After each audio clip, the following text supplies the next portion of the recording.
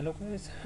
Now we are going to see how a simple motor circuit can be uh, implemented with PLC suppose we have a sensor uh, push button start push button. Then uh, uh its signal will go to the input module from which the PLC central press processing unit will operate as per logic program. And then its uh, result will be uh, given to the output uh, module and from output module the motor starter will get operated enabling the motor to start. So here is a simple wiring.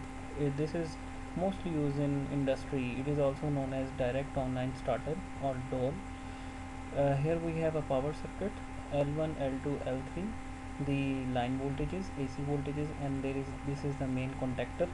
And then comes the overload relay and the motor uh, terminals T1, T2, T3. So when this contactor is get uh, gets energized, power will flow on operate motor.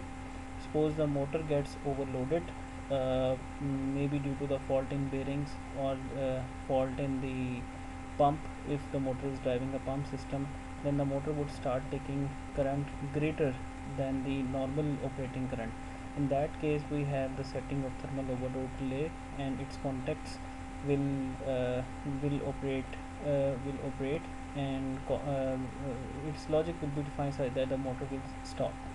So its logic is implemented such that this is on 415 side L1 and L2 we would be having a transformer which is converting 415 volts to the 24 volts.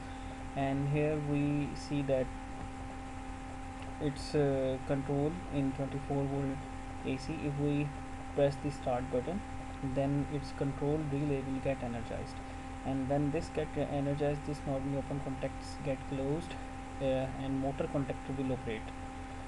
Uh, motor contactor and if we want to uh, further if we get this push button start then this contactor CR its contact get energized. So the loop uh, passes here so this is our path for this control loop unless we uh, press the stop button. So here is uh, another uh, illustration of the same circuit. We have the contactor and this is overload relays stop push button start push button auxiliary contact. It is also known as a holding contact and this is the starter coil so this circuit is implemented without a transformer. There is no transformer in this circuit and all the components are rated according to the 415 uh, volts.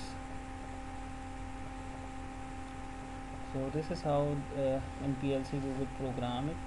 We would uh, install normally open contact at uh, I 0.0 and normally close uh, button push button at 0.1 and overload relay normally close contact at 0.2 and in programming we have used all normally open contacts.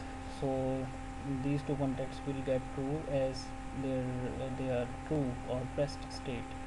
So if we start the button then this q 0.0 bit output coil will get energized giving this contact uh, close command and then the circuit uh, then the flow would be like this.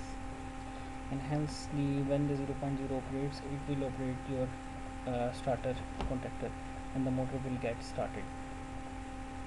So we have in industry various uh, discrete inputs types. We have push button we have selector switches limit switches uh, which are normally installed on control valves uh, giving uh, uh, ESD valves like on off valves giving their close and open status and the proximity switches as well.